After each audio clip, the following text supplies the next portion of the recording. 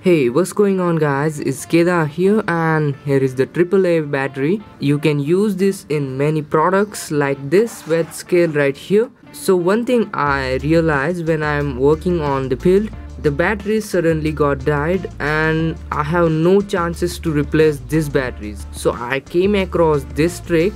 So this trick is used to increase the battery capacity and after that you will get uh, extra amount of capacity through your cell and it only uses some kind of weight. So let's get into it. So now as you can see the cells are dead. It might die in few seconds of use. So what you have to do take out the cells from your device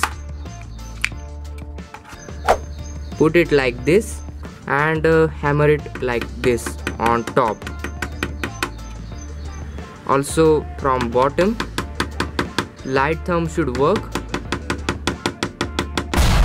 By the way this bandage is not due to this pliers right here.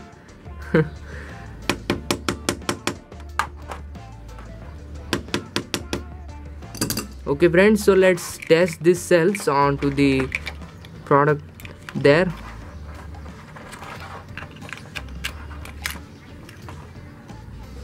as you can see the low battery indicator is gone actually. And it got some capacity from there. These cells have powdered kind of chemicals there inside it. So the chemicals got compressed onto the electrode when you hit them and you get the extra capacity.